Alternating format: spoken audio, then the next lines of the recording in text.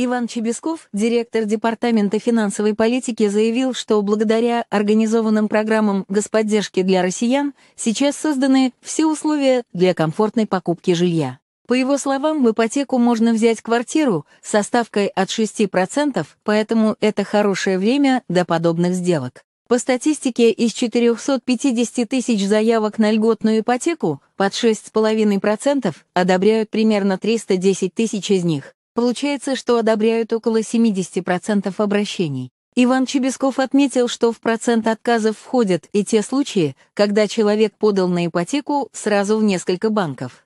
Подробнее о процентах по ипотеке читайте в наших новостях.